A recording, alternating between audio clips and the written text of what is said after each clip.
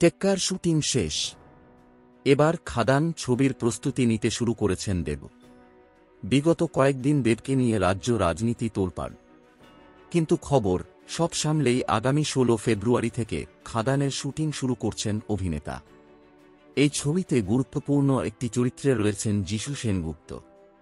এদিকে অভিনেতা আগামী তেইশে ফেব্রুয়ারি থেকে সিসিএল, সেলিব্রিটি ক্রিকেট লিগ নিয়ে ব্যস্ত হয়ে পড়বেন।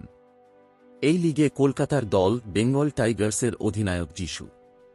দেবকে এই ছবিতে হ্যাঁ বলার জন্য বিশেষ শর্ত দিয়েছিলেন যিশু।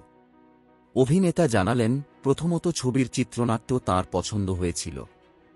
দ্বিতীয়ত, দেবকে তিনি নাকি বলেছিলেন যে সিসিএলের জন্য ছুটি পেলেই একমাত্র তিনি খাদান ছবিতে রাজি হবেন। যিশুর কথায়, সিসিএল ছাড়াও আমার একটা তেলুগু ছবিরও শুটিং চলছে। কিন্তু দেব এক কথায় রাজি হয়ে যায়।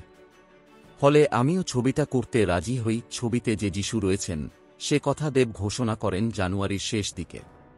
ছবিতে যিশুর ফার্স্ট লুকে অভিনেতাকে পিছন থেকে দেখা গিয়েছে। ধুতি পাঞ্জাবিতে অভিনেতার গলায় ঝুলছে শ্রীখোল।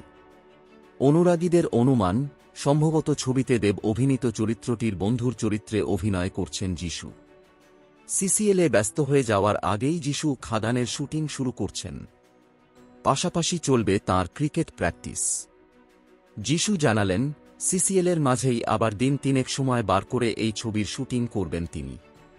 সুতরাং আগামী এক মাস অভিনেতা যে ক্রিকেট এবং শুটিংয়ের মধ্যে সমতা বজায় রাখতে মরিয়া, তা বেশ স্পষ্ট।